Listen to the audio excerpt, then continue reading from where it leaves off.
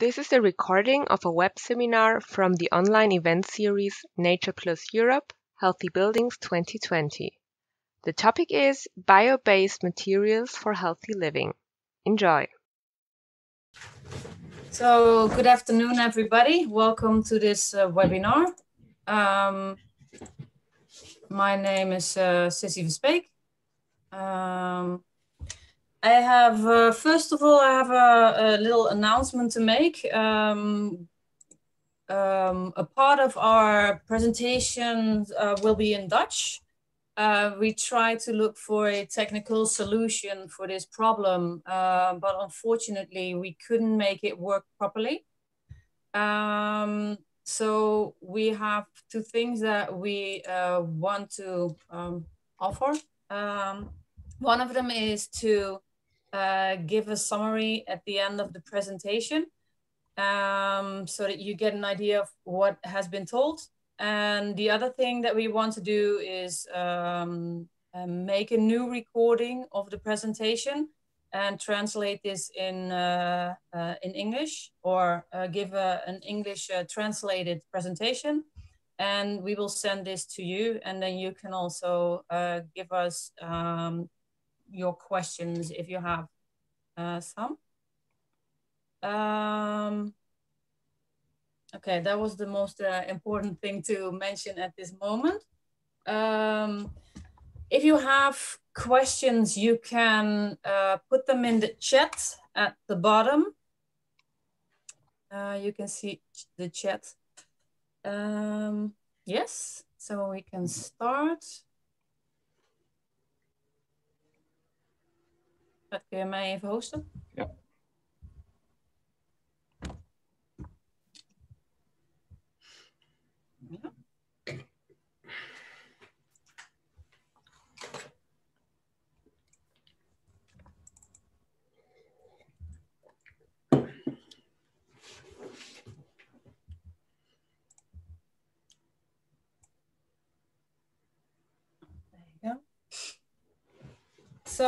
We want to talk about uh, the materials, uh, uh, bio-based materials for healthy buildings. And um, um, we is uh, Agrodome, um, me, myself, Sissy Verspeek and Fred van der Burg.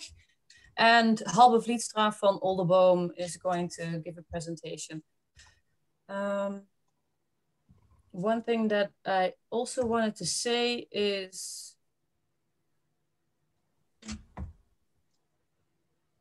No, sorry. No. The agenda for today is, uh, first of all, an opening. I will give um, some more information on Nature Plus. The, the reason that we uh, wanted to give this presentation is um, to promote Nature Plus in the Netherlands. In the Netherlands, it's um, it's it's new. We just uh, became the uh, representatives of uh, Nature Plus in the Netherlands, and we try to make the um, the the label more known uh, because it's still very unfamiliar. Um, next thing we're going to talk about, uh, of, uh, Vlietstra is going to talk about the bio-based materials for healthy buildings. Uh, he's also a building biologist. Um, and so he can uh, give you some more information on this. Um, nog heel even kort ook in het Nederlands. Ik hoop dat de Nederlandse mensen die aanwezig zijn op dit moment uh, geen problemen hebben met het uh, um, met de Engelse presentatie. Um, maar stuur in ieder geval gewoon de vragen die je hebt, uh, in ieder geval in de chat. Um, dan hoop ik dat we er met z'n allen in ieder geval goed uitkomen. In the end, we're going to do an interaction moment, and that will be with uh, Halbe, uh, me, myself, and Fred. Some short information, a little bit of information about the Foundation Agrodom. Um, all that we try to do is get the building industry um, transition from a fossil-free industry. Uh, so this is a very good connection with uh, with Nature Plus. Uh, we think healthy um, health, health-being, uh, uh, good inner climates are very important issues in the building industry, which are now not um, well looked at or yeah. Uh, uh, okay, yeah, sorry, still looking for the words a bit. Um, we are active nationally uh, and internationally in Europe. Uh, we also do uh, policy lobbies, uh, law regulations, try to take away uh, boundaries, hiccups, and so on, which are there for bio-based and circular solutions. Um, we work together with um, educational institutes. Like I already said, representatives of Nature Plus in the Netherlands, and we are also involved in making uh, LCAs on uh, bio-based ecological building materials. Then a little bit more about Nature Plus and who we are. Um, Nature Plus is an international, oh, sorry, uh, international association. Um, it's all non-profit, uh, member-based network, which I'm going to talk a little bit more about in the end, um, and uh, mission driven. Uh, what you see uh, in the bottom, uh, Nature Plus Association is uh, committed to the transformation of the building sector towards climate protecting, uh, resource saving, and healthy building and living. Um, this whole quote is exactly what works for us, which is important to us uh, as Agrodome, and that is why we feel like it's a, it's a very good connection between these two associations. Uh, this is the European network, uh, which you can see with, we are already um, operating in uh, seven European countries. And of course, we try to make this network um, a lot bigger. Um, sorry, here you can also see um, uh, what kind of what kind of partners are involved in uh, in this network.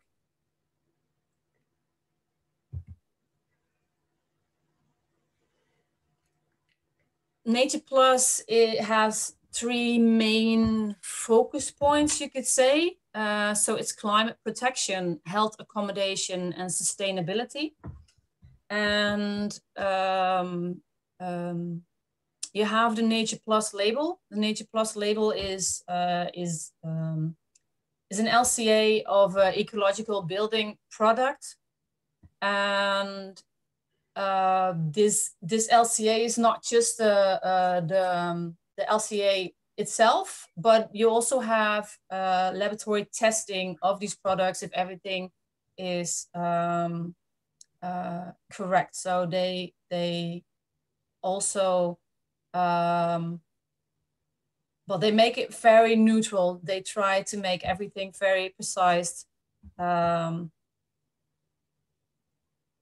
uh, uh, besides that, they do seminars, uh, trainings. Uh, at this moment, uh, it's all it's pretty much all uh, web seminars. Uh, but we try to do maybe even next year. We try to do the activities that we planned this these two weeks in the next year, if possible. And you also have the Nature Plus database, database natureplusdatabase.org, where you can see all the materials that have the Nature Plus label.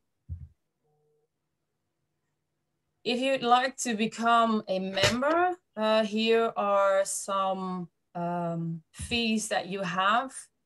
Um, and if you have some more questions about this, uh, how it works, um, uh, for your company or uh, what you can do, what you can gain from it even more, you can contact uh, Thielman or Nature Plus here the, uh, with the email or the telephone number. And then I give the word to Halbe. Ja, doe jij de hosting? Share screen. Sorry. Gaat jij de hosting? I've got a hosting. Um, Jij moet uh, halve host maken. Ik, uh, oh, Ja, sorry. denk ik. Sorry. Ja.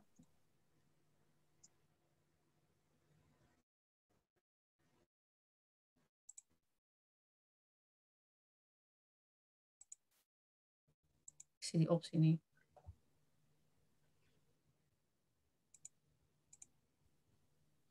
I'm sorry.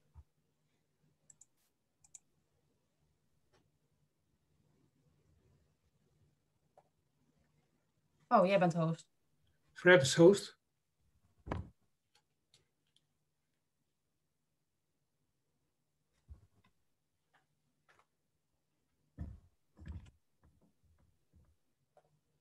Oké.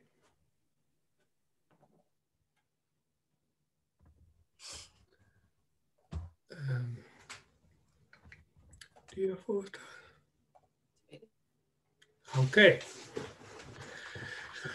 Well, we're now switching to the Dutch language.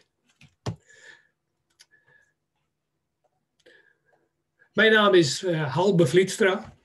Ik ben uh, werkzaam bij Oldenboom, houthandel Oldenboom. Met twee vestigingen in Doetinchem en Harlingen. Uh, ik kom uit Harlingen vandaan, daar ben ik bij betrokken. En wij zijn toeleverancier van hout- en plaatmateriaal en daarbij ook isolatiematerialen, maar ook ecologische materialen. En met dat advies en de verkoop van die ecologische bouwproducten, daar houd ik mij eigenlijk dagelijks mee bezig. Daarnaast ben ik ook uh, bouwbioloog uh, IBN, dat is volgens de IBN, uh, die Duitse opleiding in, in Duitsland, IBN. En daar ga ik iets over vertellen. Bouwen met, volgens de bouwbiologie bouwen, dat is bouwen met natuurlijke en eerlijke materialen. En dat is wonen en werken in een gezond binnenklimaat. Dat is bewust omgaan met milieu, energie en water. En dat houdt ook in dat er een harmonieus ontwerp en architectuur verlengd wordt en een ecosociale leefomgeving en infrastructuur. Dit zijn de vijf basis uh, vormen van, van de bouwbiologie en van elk kan er nog heel veel verteld worden. Maar het is eigenlijk bouwen met de natuur en kijken wat de natuur te bieden heeft. En vooral, uh, ik heb vanuit de bouwbiologie ook geleerd dat je heel sterk naar materialen moet kijken. Heel sterk moet kijken naar welke stoffen zitten er in materialen. En wat doen deze stoffen? Uh, wat doen die met het binnenklimaat? Wat doen die met de gezondheid? En met stoffen, dat zijn bouwmaterialen, maar dat zijn ook afwerkmaterialen. Dat kunnen verven zijn, dat kunnen uh, vloerbedekkingen zijn, noem alles maar op. Maar daarnaast kijkt men ook heel sterk naar, naar bijvoorbeeld uh, installaties of naar wat, wat voor vormen we hebben met, met straling in woningen en dergelijke. Het is een heel compleet verhaal van wat je eigenlijk in een gebouw tegenkomt. En daar, daar is de bouwbiologie eigenlijk een prima manier voor om ja, te ontdekken wat, uh, wat goed is en, uh, en, uh, en, ook om te luisteren wat minder goed is. Nou, we gaan terug naar het biobased bouwen, want dat is de, het onderwerp van vanmiddag. Waarom zouden we biobased bouwen? Nou, onze overheid wil dat we volledig circulair worden in 2050. En dat is nog een hele uitdaging. Maar willen we circulair bouwen, dan zullen we ook circulair moeten ontwerpen met de juiste materialen. Dat, en dat wil zeggen bijvoorbeeld bouwen met hout in combinatie met andere hernieuwbare grondstoffen. En mede zorgen die voor de vergroening van de bouw. En ik denk persoonlijk dat dat echt een, noodzaak is. En uh, de bouw is echt wel een vervuiler. En daar zijn we ook echt wel van bewust. Maar uh, dat, om dat te veranderen, dat is nog een hele stap. Maar daar zou het biobased bouwen en het circulair bouwen zou daar echt een, een goede aanzet in kunnen zijn. Om de vergroening van de bouw, om daar ook echt handen en voeten te geven. En tenslotte, ja, we bouwen voor de mens. We kunnen van alles bedenken, hele prachtige gebouwen, maar het gaat om de mens. En dat de mens daar gezond in kan verkeren. In het hele jaar, in de, in de winterzomer, noem maar maar op. En, uh, en daar ook veilig in kan wonen. En niet alleen duurzaam, maar ook natuurzaam. En het woord duurzaam, ja, met alle respect, uh, vind ik vandaag de dag toch een klein beetje een containerbegrip geworden. Dus uh, wij voegen ook vaak het woord natuurzaam bij. Kijk naar de natuur, wat kan die doen? Bij duurzaam, ik hoor vaak de kreet duurzaam en dat bedrijven zeggen wij zijn duurzaam, of overheid zegt we zijn duurzaam, of uh, maar dan zie je heel vaak dat ze kijken naar de installaties, naar zonnepanelen, uh, naar ledverlichting, uh, elektrisch rijden, noem maar op. Maar ik vind dat we naar wat anders moeten kijken. We moeten ook kijken naar de constructies. En die op een natuurzame manier gaan doen. Dus het circulair bouwen, dat is een, een, een, manier om circulair, ecologisch en biobased, dat voeg je eigenlijk heel mooi samen om tot een gezond gebouw te komen. En natuurlijk bouwen, nou ik heb hier een klein uh, fotootje van een nest, van een vogelnest en bekijk het maar en ik kom daar later in, nog even op terug. Maar wat de natuur eigenlijk doet, dat is eigenlijk heel bijzonder. Ja, bioweet bouwen, wat is dat eigenlijk? Nou, dat is bouwen gebaseerd op de natuur. Wat heeft de natuur te bieden? En ik denk dat wij dat de afgelopen 60, 70 jaar eigenlijk wat vergeten zijn.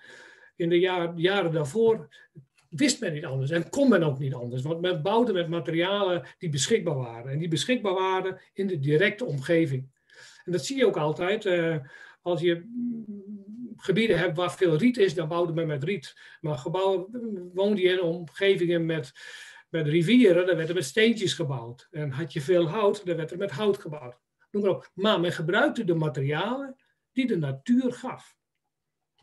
En dat is met biobased bouwen, is dat nu eigenlijk een beetje weer uh, terugkijken naar die dingen.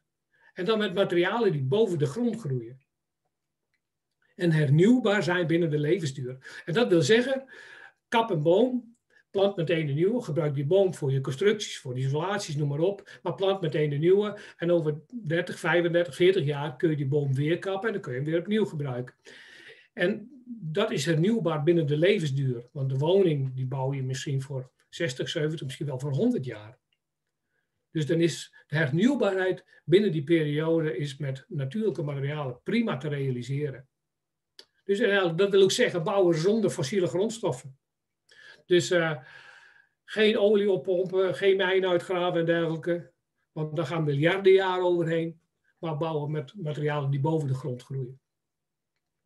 En ook materialen die mede zorgen voor een gezond binnenklimaat. Maar daar kom ik altijd toch weer op terug. Gezondheid, dat is echt belangrijk. Nou, nu merken we het vandaag de dag helemaal met de omstandigheden waar we in zitten. Maar gezondheid, uh, dat is het belangrijkste. Kijk, kan ik deze Ja. Welke biobased materialen uh, zouden we dan, heb ik het dan vanmiddag over? Nou, over hout uit duurzaam beheerde bos uiteraard. En over isolatiematerialen. Die twee dingen samenvoegen om tot een constructie te komen. En dan gaan wij eigenlijk vanuit Alderboom, zijn wij eigenlijk constant op zoek naar natuurlijke materialen die eigenlijk ook een Nature Plus label hebben. Omdat we weten dat daar een organisatie achter zit die in het voortraject al heel sterk kijkt van Welke materialen zijn het? Wat doen die met gezondheid? Wat doen we met, met de mensen die het verwerken? Wat doet het tijdens de levensduur? Maar wat doet het ook met de mensen die het weer moeten verwijderen? En wat hebben we dan? En waar zadelen we onze kinderen mee op? Dus wij kijken heel sterk, dat zijn heel sterke items voor ons. Dus we kijken ook echt welke materialen hebben dat Nature Plus label. Nou, dat is dan houtvezelisolatie. Dat is bijvoorbeeld ook cellulose vermalen oude kranten. Maar dat is ook hennep. Of schapenwol. Dat zijn in ieder geval al vier isolatiematerialen die met Nature Plus label gecertificeerd zijn. Maar als je nou deze materialen gaat toepassen, waarom zou je dat doen? Wat heb je daar nou aan? Nou, in ieder geval winterwarmte. Want we hebben altijd geïsoleerd om in de winter de warmte binnen te houden en dat willen we graag zo laten. Maar, en, eh, en dat vind ik eigenlijk vandaag de dag misschien een wel veel grotere uitdaging. We moeten ook isoleren om in de zomer uh, onze gebouwen koel te houden. En, uh, en, dat is nog steeds een ondergeschoven kindje, laat ik het zo maar stellen. Maar we merken het nu allemaal, ja, elk jaar. We hebben het afgelopen jaar nu ook weer gemerkt hoe, de, hoe we toch steeds meer te maken krijgen met warme periodes, zoals zelfs hittegolven tot en met in september aan toe. Dat onze gebouwen echt opwarmen en uh, dat dat geen comfort geeft. Maar naast die twee dingen is ook geluidsbescherming erg belangrijk. En vochtbescherming. Twee zaken die, ja, waar we gewoon mee te maken krijgen. Dit zijn vier aspecten als we gaan bouwen uh, dan krijgen we met deze vier dingen krijgen we te maken met winterwarmte, zomerkoelte, geluidsbescherming. Met alle uh, respect, ik heb in de jaren 90, 2000 echt heel veel dakplaten verkocht. die bestonden uit EPS, uit schuimplaten en dergelijke.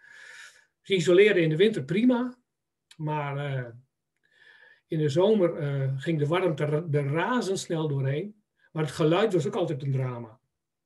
Dus daar moest je echt nog wel wat, wat aan doen om het geluid te beschermen, mocht dat al nog mogelijk zijn. Maar daarnaast zijn natuurlijke materialen kunnen ook met vocht omgaan, kunnen, kunnen vocht opnemen, kunnen vocht uh, uh, verspreiden, transporteren. Uh, en, en dat is ook echt belangrijk om bouwfysisch onze constructies veilig te houden. Maar daar kom ik zo meteen nog even op terug. Ik heb twee materialen die ik ga uitlichten. Dat is de houtvezelisolatie en de cellulose. En waarom deze twee? Omdat we deze eigenlijk, de hennep komt er nu wel steeds meer bij, maar deze twee hebben we de afgelopen jaren steeds gebruikt en ook geadviseerd voor de houtskeletbouw. Want deze materialen, die zijn eigenlijk, uh, de houtvezelisolatie is eigenlijk heel makkelijk toepasbaar in de huidige manier van HSB-bouw. En cellulose inblazen past daar ook perfect bij. En daar hebben we ook hele mooie resultaten mee gehaald. Houtvezelisolatie, hier zie je een plaatje van. Cellulose. Cellulose wol is eigenlijk niet anders dan vermalen oude krantenpapier. En wat doen deze twee materialen? Wat kunnen ze? Nou, het, het, de basis van hout is uiteraard een boom. De basis van cellulose, oude kranten, is ook hout. Een boom kan heel makkelijk vocht transporteren. Hè? Dat begrijpt iedereen. Vanuit de wortels wordt het vocht naar de bladeren getransporteerd. Dus hout kan vocht transporteren. En dat kan het ook als je, uh, uh, als je isolatiemateriaal gebruikt. Dat, dat, blijft gewoon zo. Hout kan vocht transporteren. Dus de eigenschappen van deze materialen, ze zijn dampopen, maar vocht regulerend. En het houdt in dat, uh, en daarnaast uh, isoleren ze ook prima in de winter. Een lambda-waarde van 0,36 tot 0,38. de meest voorkomende Glaswol wat we gebruiken is 0,35, 0,33, 0,32. En dat verschil is echt heel klein. Op, op een dak of op een wand is dat maar een paar centimeter. Het zijn flexibele platen, drukvaste platen. Dat zie je straks in een uh, opbouwtje, kom je dat even terug. Maar dus deze labdawaarden zijn een klein beetje slechter omdat ze meer geperst zijn. Maar door de structuur geven die materialen ook een hele hoge geluidsreductie. Vroeger, als we een woning hadden met een uh, houten zolder erin, werd er aan de onderzijde werd er nog wat um, een zachtboord tegen het plafond aangedaan om het geluid te reduceren. Nou, eigenlijk doe je met deze materialen precies hetzelfde, alleen gewoon in een veel dikkere vorm. De materialen hebben een hoogsoortelijk gewicht, 50 tot 200 kilo. 50 dat is voor de flexibele, 200 is voor de platen die aan de buitenzijde komen. In heel veel gevallen kun je ook nog zonder folies construeren. En ze bieden een optimale bescherming tegen de zomerse hitte. Zonder folies, dat wil zeggen dat je een constructie maakt waar toch eigenlijk, als je een folie wilt gebruiken, dan wil je echt het vocht uh, tegenhouden. En gebruik je nou een minerale wol, dan wil je geen vocht in je constructie hebben, want omdat dat materiaal, minerale wol, kan niks met vocht. Glas, glaswol, kan niks met vocht, kan geen vocht opnemen, niks. En dan heb je die folie echt nodig. Maar met houtvezel of cellulose of hennep, dat zijn materialen die vocht op kunnen nemen en kunnen transporteren. En daarom kun je heel veel gevallen zonder folies construeren. En ik hoor wel eens de kreet van, ehm, ja, maar ik wil eigenlijk niet wonen in een plastic zak en noem maar op, omdat je met bepaalde isolatiematerialen toch echt een PE-folie aan de binnenzijde nodig hebt. Nou, in, met deze materialen kun je dat achterwege laten. En die optimale bescherming tegen zomerse hitte, daar komt het volgende even bij. Hoe kan dat nou eigenlijk? Deze materialen, dat die dat zo kunnen. Nou, ten eerste hebben ze een hoge warmtecapaciteit, specifieke warmtecapaciteit. Uh, elk materiaal heeft dat. En, en, dit is 2100 joule. En als je nou kijkt naar, uh, uh, naar glaswol, dat is om en bij de 700. Kijk je naar steenwol, is dat om en bij de 1000. Uh, is dat uh, andere materialen, vlas zit om bij de 1500, eh, 1500 joule per kilogram Kelvin. Maar als je nou houtvezel en cellulose hebt, dat is 2100. En dat is, dat is, een, dat is echt hoog. En dan heb je ook nog een combinatie van het soortelijk gewicht. Die, die flexibele platen die, die, die wegen om bij de 50. Uh, andere isolatiematerialen zitten om bij de 20, 25. Dus je hebt veel meer massa. En die combinatie die zorgt voor een hoogst mogelijke warmtebuffercapaciteit. Die specifieke warmtecapaciteit zorgt ervoor dat je materiaal warmte kan bufferen. En, en, daar kan ik nog iets over zeggen. Op het moment als die zon staat te branden, dan zorgt die warmte ervoor dat eigenlijk eerst het vocht, wat natuur, van nature gewoon in houtvezel en cellulose zit, dat dat eerst wordt verdampt. En dan worden de platen pas opverwarmd. En dat heeft allemaal tijd. En die tijd die zorgt ervoor dat dat, uh, dat je een faseverschuiving krijgt. Dat als die zon staat te branden, dat dat heel langzaam door die constructie heen trekt. En als je dus een dak hebt van RC6, en RC6 is vandaag de dag gewoon basisbouwbesluit, dat heeft al een faseverschuiving van 13 uur. En dat leg ik straks nog even uit in een kleine, laat ik je zien hoe dat zit in een berekening, faseverschuiving. 13 uur, kom je straks weer tegen. En ik ben ervan overtuigd dat isoleren tegen oververhitting van onze woningen, gebouwen, nou dat wordt echt nog een uitdaging. Maar het kan. Met de juiste constructies en de materialen die zijn voorhanden, het kan. Nou, en ik weet, de afgelopen uh, zomer zijn er heel wat airco's verkocht. Mobiele airco's, maar ook andere airco's. Maar verwar verwarming kost geld, maar koeling kost ook geld. En daarnaast kun je soms nog afvragen of het inderdaad ook comfort is. Dus ik geef aan, als je nou gaat bouwen of verbouwen, kijk naar de materialen, kijk naar de constructie. Kun je maar één keer doen over het algemeen en steek daar nou zoveel mogelijk kwaliteit in. En niet alleen voor in de winter, niet alleen die RC-waarde. Want wil je een bouwbesluit, wil je een, of wil je een, een bouwvergunning hebben, er wordt altijd alleen maar naar een RC gevraagd. Er wordt alleen gevraagd, wat doet hij in de winter? En ik denk, uiteraard moet je dat vragen, maar de volgende vraag, minstens zo belangrijk, wat doet de constructie in de zomer?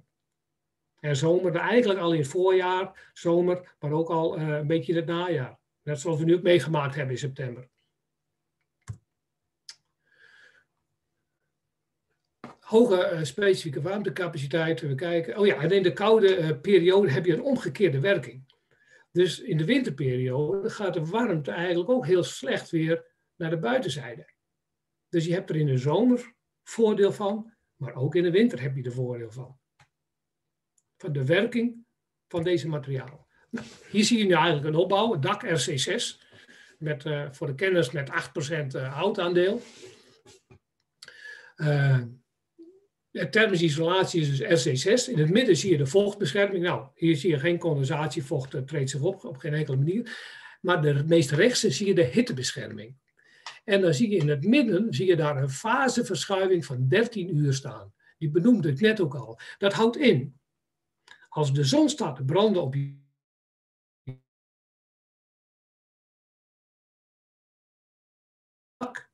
dan duurt het met deze constructie, en dan zijn we misschien allemaal gek op de zon, we willen ook heel veel zon, maar 13 uur zon op ons dak, dat zullen we in Nederland bijna niet meemaken. Of de zon is weggedraaid, of hij is weer ondergegaan. Dus, en op die manier kun je dus je constructie koel houden, je, je slaapkamers koel houden, je gebouw koel houden. En hoe zie je nou die opbouw? Dat begint eigenlijk aan de onderzijde met bijvoorbeeld een gipsplaat. Uh, dan krijg je een, een, een, constructieplaat, in dit geval de, de LKESB Plus, 15 of 18 mm. Dat is je constructieve plaat. In dit geval ook je dampremmer. Je ziet geen folie zit. Die plaat is je constructieve plaat en je dampremmer. En dan komt je constructie met de houtvezel of cellulose, 220 mm. Sporen van 220 mm, houten regels. En dan overheen zie je de Goodtex Multiplex Top. Dat is een drukvaste houtvezelplaat van 35 mm. En ik was een aantal, denk nu drie jaar terug, was ik in Duitsland op de beurs. Elk jaar gaan we naar Duitsland, naar de bouwbeurzen, om te kijken wat voor ontwikkelingen zijn er. En daar zagen we toen voor het eerst dat een zeer grote uh, leverancier van, van glaswol, en dat was Isofer, daar een constructie had, met allemaal glaswol in zijn constructie, maar aan de buitenzijde een 35 mm houtvezelplaat. En toen zei ik tegen mijn collega, nou kijk, dat bedoelen wij nou altijd. Soms heb je wel eens een, een hybride constructie nodig, maar ook bij Isofer waren we erachter gekomen, wij moeten meer doen om onze zomerse waardes ja, naar beneden te halen. Om die, uh, die hittebescherming te garanderen. Dit is een klein, een klein voorbeeldje ervan. Als je nou een Goodtex Thermosafe homogeen, dat is een houtvezelplaat van 10 centimeter dik, die 110 kilogram per kuub weegt, die kun je aan de buitenzijde toepassen. En dat is het verschil uh, uh, aan warmtecapaciteit. Je zou, als je dat wil, die warmte wilt opslaan in glaswol, heb je dat nodig wat ernaast staat. En ik meende dat dat ongeveer 70 centimeter was.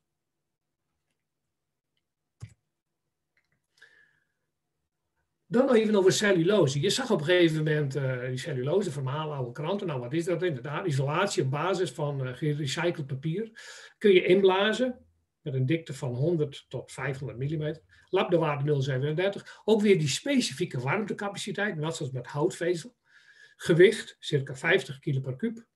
Daar zit een natuurlijke toevoeging in. Er zit gewoon wat natuurlijke zouten in voor de brandbeveiliging. En ik weet dat ongedierte daar ook... Uh, dat niet prettig vindt. Uh, en uh, uitermate geschikt voor nieuwbouw, voor verbouw, renovatie, noem maar op. Hier zie je eigenlijk een klein voorbeeldje doorsneden. De rechterzijde zie je een man met een pluk cellulose en een muntje en een brander erop. Je ziet ook dat die cellulose dat het meteen verkoolt. En dat is met hout ook zo. Het verkoolt meteen. En verkoling is eigenlijk ook een natuurlijke brandwering. Hier wordt ingeblazen op de bouw.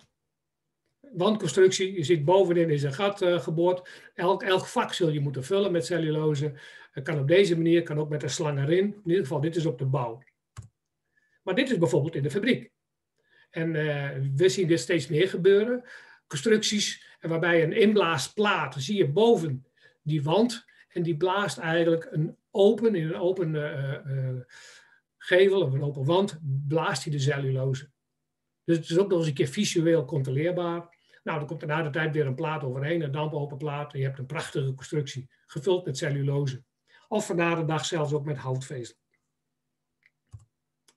Maar cellulose blazen in de renovatieprojecten kan ook prima. Ik heb dat meegemaakt met boerderijen waarvan die ronde, uh, uh, ja, juffers noemen we dat, maar van die ronde balken in zaten, van die halve bomen. Nou, ga dat maar eens isoleren.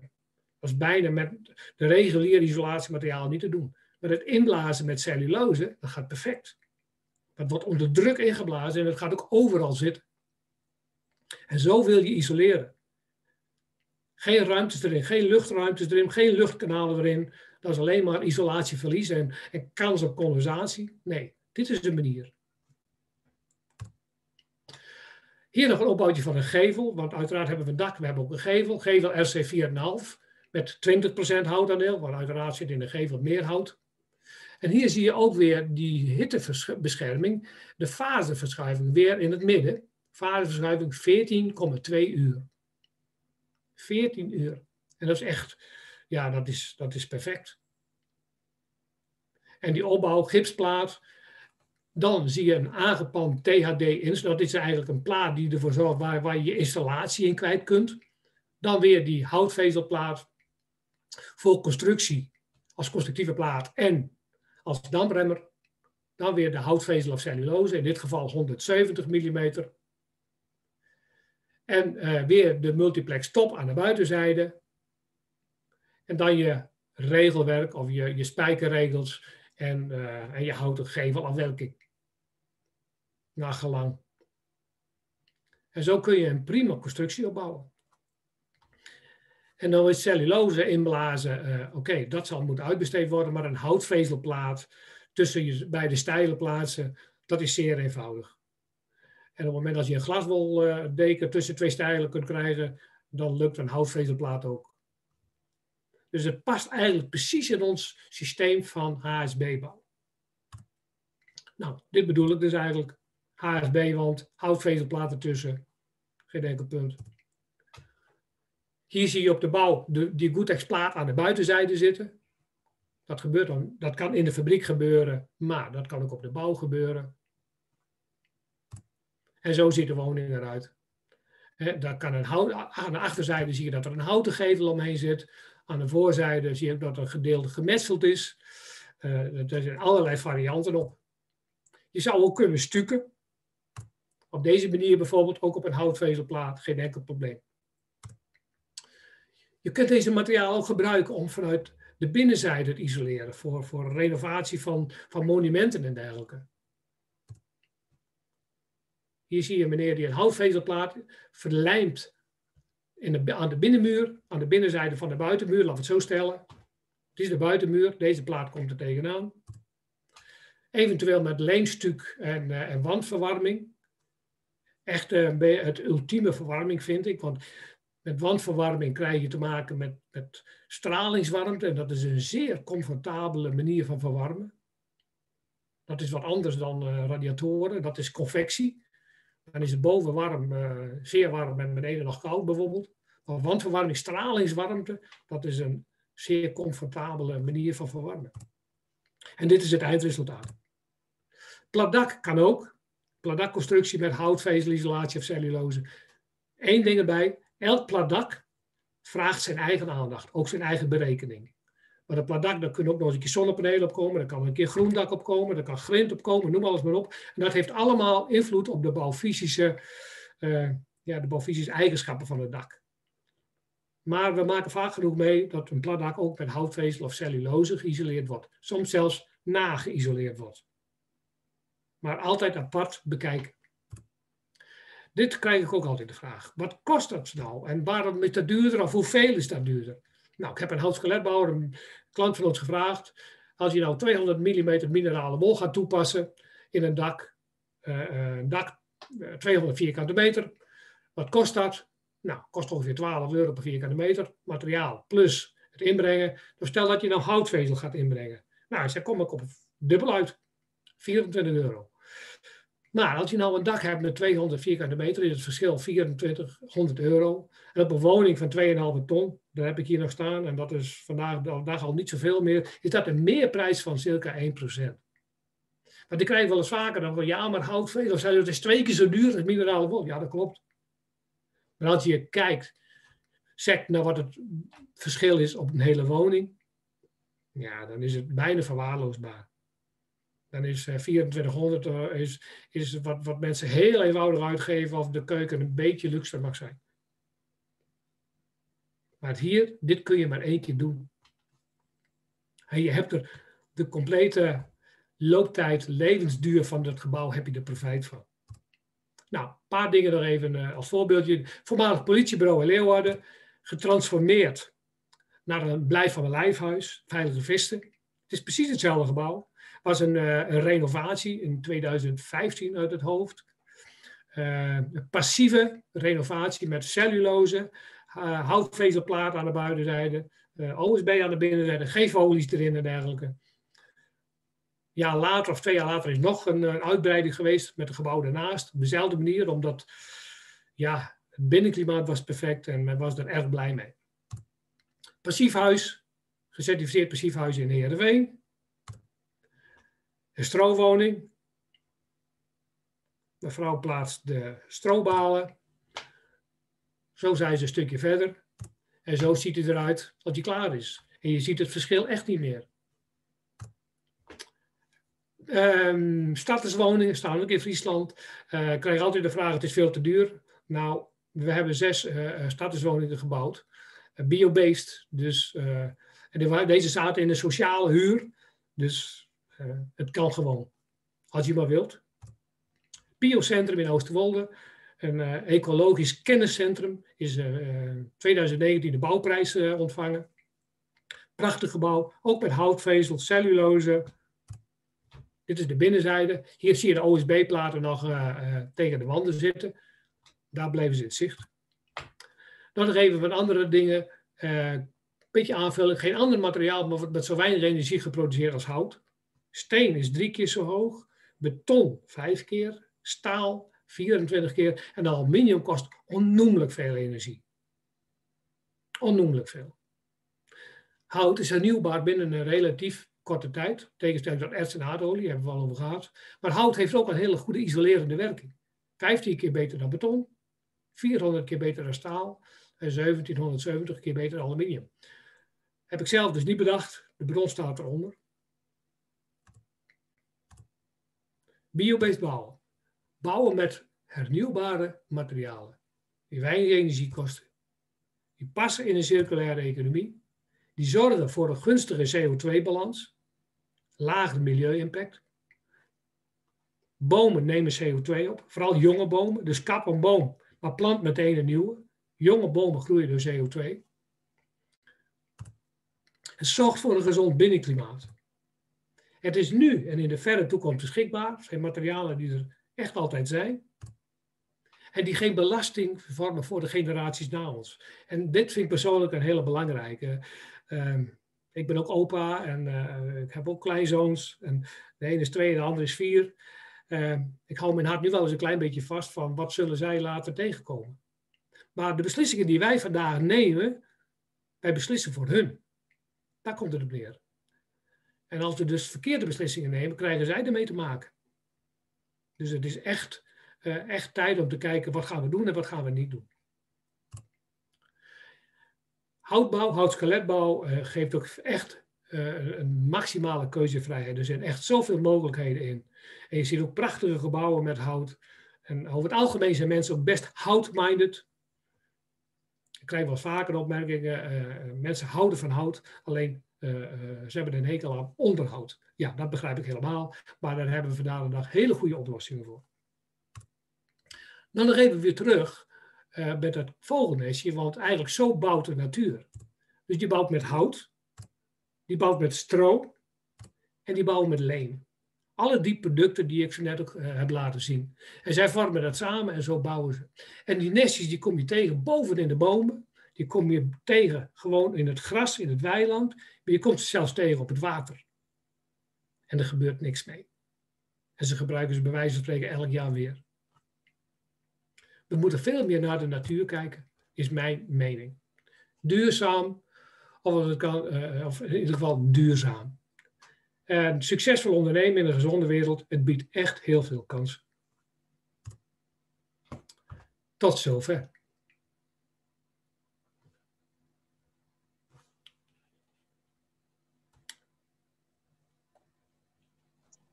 Okay, thank you, uh, Halbe, for your good uh, presentation.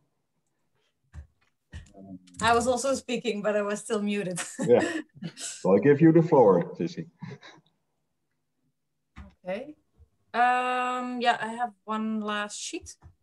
So can you host, give me the hosting uh, properties?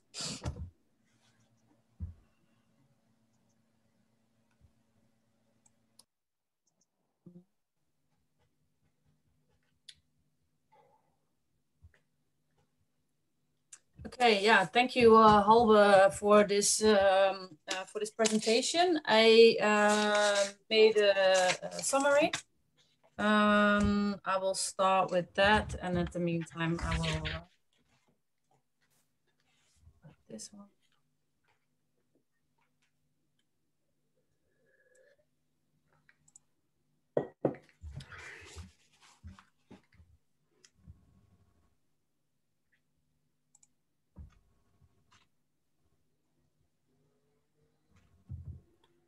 Sorry.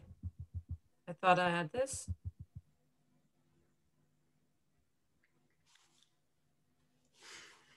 Uh, it's a short uh, yeah, this is review. this is the short Review. summary. Um, no, Zo snel kan ik niet praten. I'll go to the end. Yes. Yeah, there you go. Okay. Uh, so I gave um, um,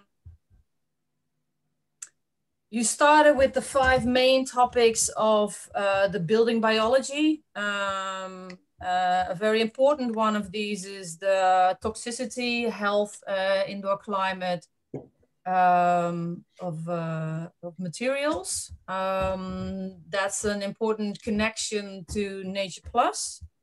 Um, you talked about why um, bio-based, uh, because it works for the circular economy as well. In um, uh, in the Netherlands, we have to do have to be 100% um, circular in 2050, and wood would also help. Uh, renewable materials will help in all of this. Uh, green is very important, and safe products. The focus uh, now is mostly on energy, um, definitely in the Netherlands, uh, but we should also look more at materials. Uh, what is bio-based? What are bio-based materials? They are based on nature and on what is available. Availability is very important and preferably um, materials that are above ground, so um, no or little mining, and uh, without fossil ingredients. Then we talked a little bit about bio-based materials, and the main focus for today was wood, wood products, and insulation. And uh, Oldeboom uh, chooses Nature Plus products because Nature Plus really looks at uh, the materials uh, and all the things that we mentioned uh, before, like um, the, the healthiness, uh, renewable, uh, toxicity, um, etc. So for um, for Oldeboom, this is a um, secure choice to do the right thing. Then insulating with natural materials. Um, the benefits of this is keeping out the cold, um, but also the heat in the summer, and protecting the, the in the climate the people inside against moist and noise. It's uh, nice two words together.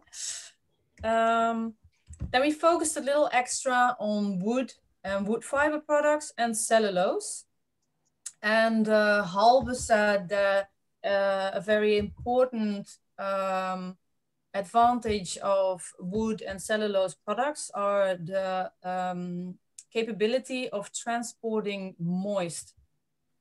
And um, another one is the mass of the materials, which helps to keep the heat out longer, about one and a half to two times longer than compared to uh, more regular insulation materials.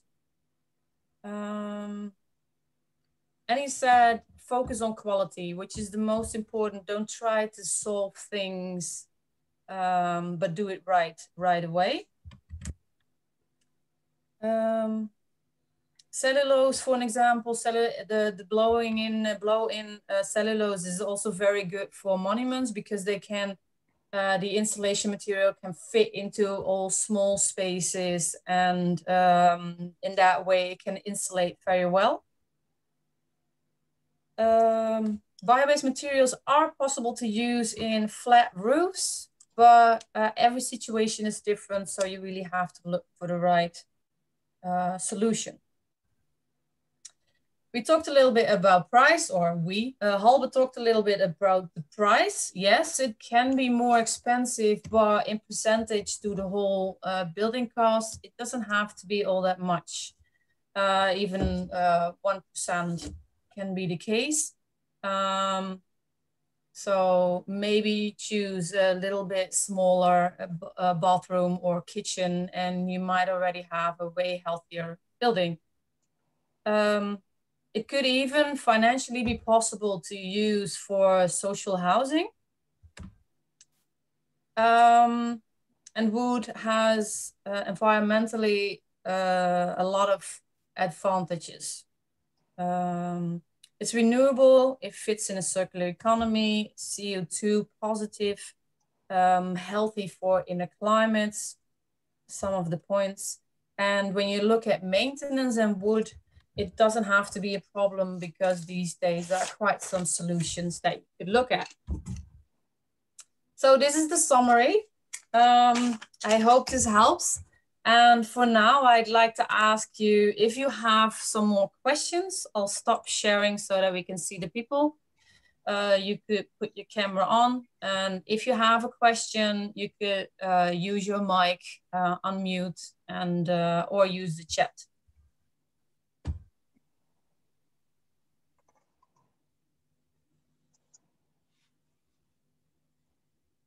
Kan ik een vraag stellen? Ja, zeker. Ja. Uh, wat mij gaat, uh, luchtdicht bouwen versus damp openbouwen. Ja, dat is een uh, hele goede vraag. Want uh, dat klinkt eigenlijk dat klinkt een beetje tegenovergesteld. Je gaat luchtdicht bouwen, maar wel damp open. Luchtdicht bouwen, dat wil zeggen dat alle aansluitingen en infiltraties van binnen en buiten dat die afgesloten worden. Maar damp openbouwen, dat wil zeggen dat, dat, dat vocht wat in een woning is, dat er eigenlijk voor een deel door de constructie uh, uh, afgevoerd kan worden. Maar het luchtdicht bouwen, dat wil zeggen dat, uh, nogmaals, dat aansluitingen en dergelijke afgetaped worden, dat je geen verlies hebt van, van, van de warme lucht die je eigenlijk verwarmt en dergelijke. Ja, ik stel die vraag, ik ben zelf zijn we bezig met het ontwikkelen van twee woningen die uh, ja, echt de duurzaamheid waar het belangrijk wordt. Ja. Uh, we zitten nu nog op een, uh, met een dampdicht systeem. Ja. We eigenlijk nog liefst naar een dampopen systeem. Ja. Wat we dan te horen krijgen van de houtsklepbouwer, die zegt van ja, maar dan moet ik alle naden van de platen gaan afplakken. Ja, dat, uh, in ieder geval, ik, ik weet dat dat in, in Duitsland doen ze dat sowieso. En ik adviseer het hier ook altijd. Je wilt eigenlijk geen infiltratie van, van, uh, van vochtige, warme lucht is vochtige lucht. Je wilt eigenlijk zo weinig mogelijk warme en vochtige lucht ook in je constructie hebben. Is dat de, de, de, de, de, de plaatmaterialen, als je nou, je, je zag die LK-ESB-plaat staan, die is uh, nog relatief dampopen. Die is wel veel dampdichter dan de plaat aan de buitenzijde.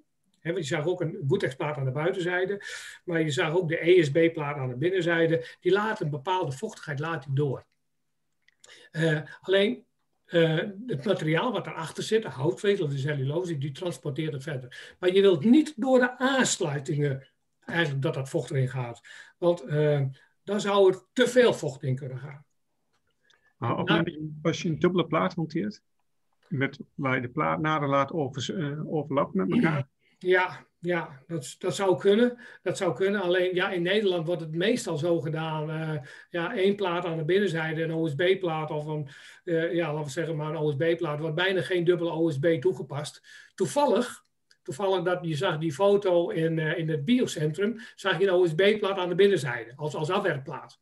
Mm-hmm. Nou, dat is, toen, dat is een dubbele OSB-plaat gebruikt. Dat was eigenlijk een beetje de, de, de constructie wat jij nu eigenlijk uh, uh, aangaf.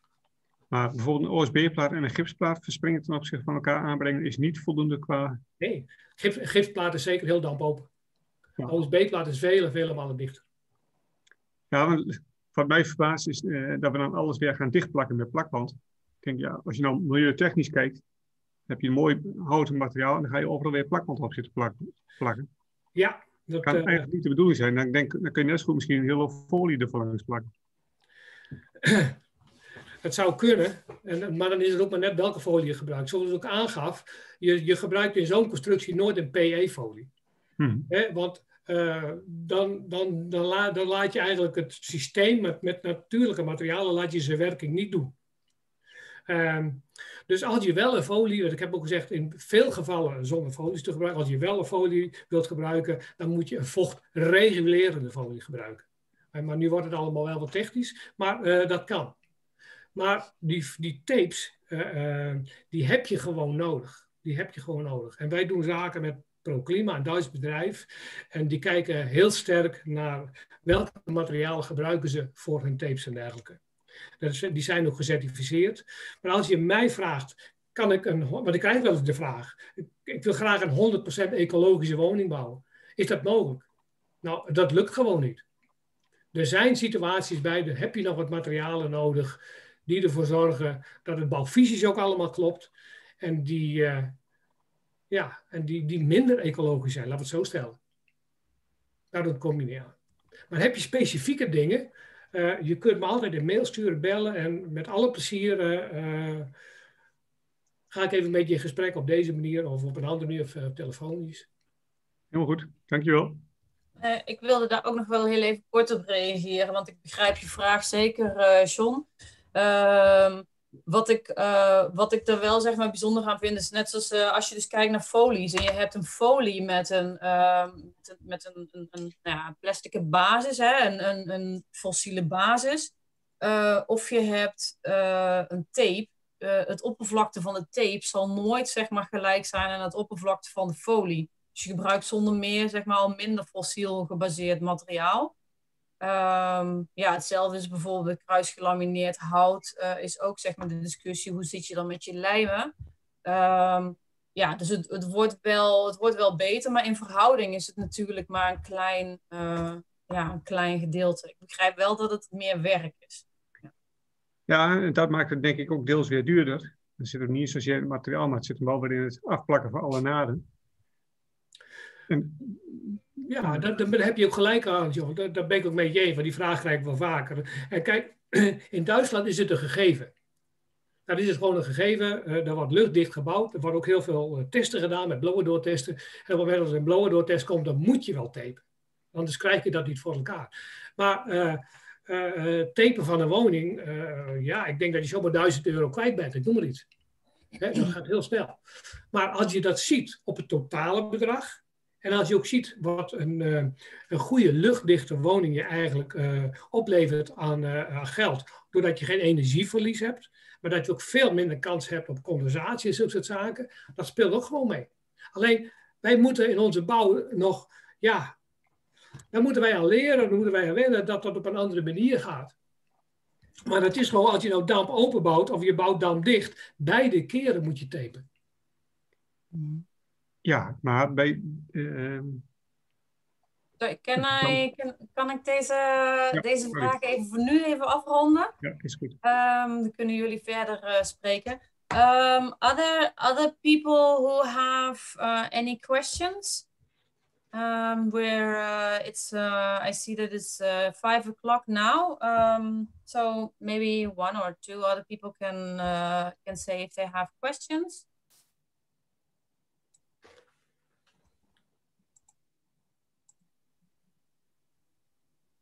No more questions? Um... Als, ik vragen op papier zijn of via de chat, ik wil ze ook wel schriftelijk beantwoorden, uh, Sissy hoor. Yeah, uh, Halbe mentioned that if there are any more questions, uh, maybe even later when I share the presentation uh, fully in, in English, then um, you can still, don't hesitate to ask any questions. Um, another uh, point is Tilman, uh, Thielman Communis from uh, Nature Plus. He said that if there are uh, any questions, you can definitely get in contact with that with with him um, about Nature Plus, and if you want to be become a member or anything. Um, if there are any questions for us, Agrodome, also don't hesitate to contact us. I would love to thank you for your uh, attention and your patience here and there. Um, uh, well, we will maybe even do this over uh, in the start of next year, and uh, we'll see how we will do it then. Um, but thank you. We will, uh, ja. Nog heel even in het Nederlands even afsluiten. Uh, nou, bedankt uh, jullie ook voor de, voor de aandacht. Uh, wij willen nog meer activiteiten in Nederland ook gaan doen om uh, wat meer zeg maar, van Nature Plus te laten zien. Uh, ook exposities, bijvoorbeeld in Rotterdam en in, um, in Zuid-Limburg. Maar dit zal waarschijnlijk pas in de loop van begin volgend jaar of in de loop van volgend jaar zijn, ook in verband met COVID. Dus um, um, nou, we houden jullie in ieder geval uh, op de hoogte. Um, nou, dank nogmaals. Oké, okay, thank you everybody. And um, uh, hope to talk to you soon again. Have a good evening. Thank you. Bye-bye. Bye.